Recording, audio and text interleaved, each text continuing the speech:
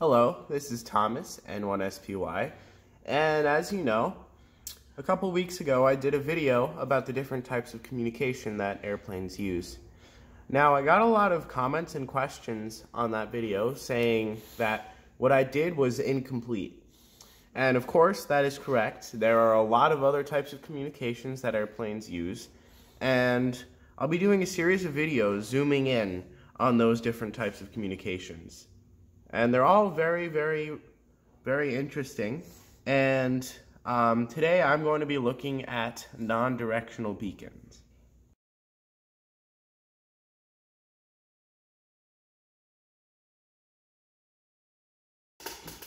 So a non-directional beacon is pretty much exactly what it sounds like. It's a beacon that beams out its signal in all directions. This signal has a pocket just below the medium wave frequency, and technically the medium wave and the non-directional beacon frequencies overlap.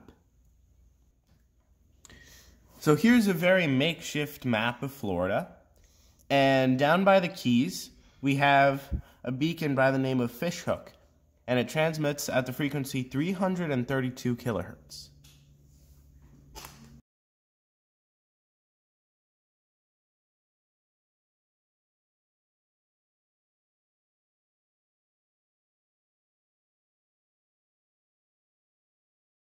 There's a lot more you can do with these. Many people hunt them, and some people just listen to them. But I find the most interesting thing about them is their backstory.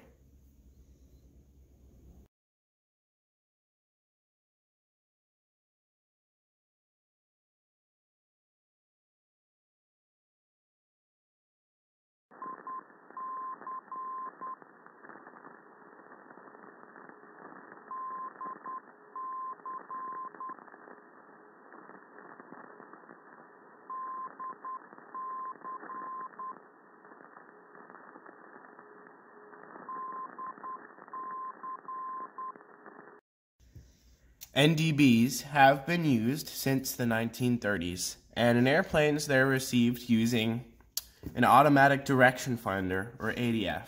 What an ADF is, is a dial, a 360 degree dial, and it points in the direction at which the beacon is. The airplane is equipped with two crossed antennas, and those antennas rotate to receive the NDB and thus point in the direction uh, in which the beacon is.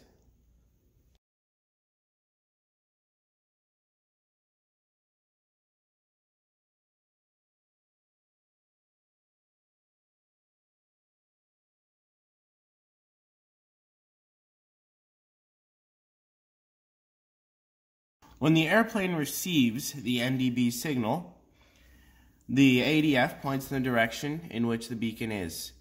Now, um, in, uh, in some instruments, the arrow points in the opposite direction, and the pilot has to make adjustments to the dials at the bottom, but I won't be going into detail on those.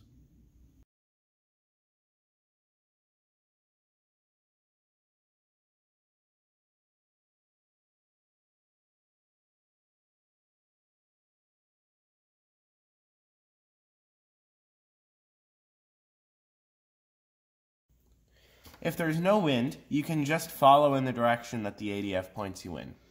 But if there is wind, you sort of have to make a curve because the wind will push you off course. Now, in the wind, the wind may blow and it'll change the degrees at which the ADF points. It could be 92, then the wind blows, it could be 93, the wind stops blowing, it goes back to 92. But pilots have many instruments, many formulas that calculate the curve at which they need to go to reach the NDB.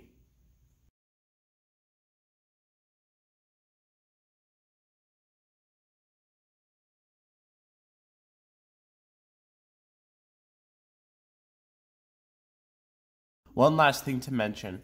If you're flying in instrument conditions, which means you can't reliably tell where you are by looking through the window, you can you can look at two NDBs and cross-reference your position, and you can find out basically where you stand.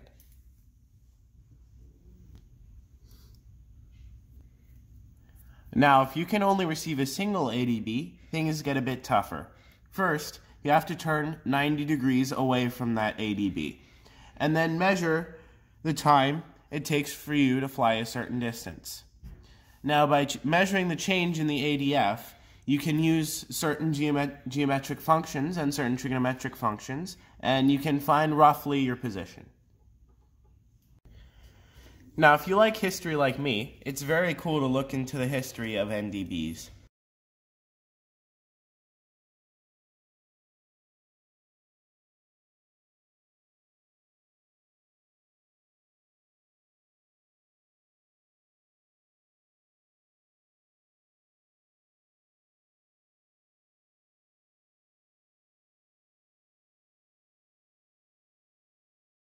Since there were a, there weren't any real NDBs back then, some some pilots may have been listening and using their AM radio to maybe listen to baseball games or do any other sort of thing.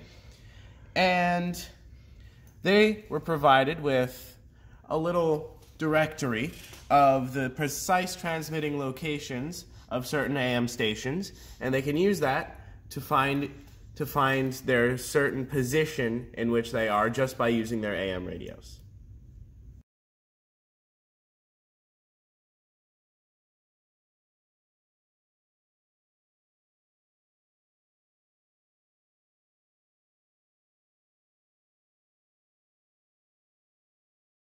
Any pilot who is trained in the last 20 or 30 years doesn't really know what ADF is because uh, NDBs are being phased out for more favorable VHF variants, which are much more accurate.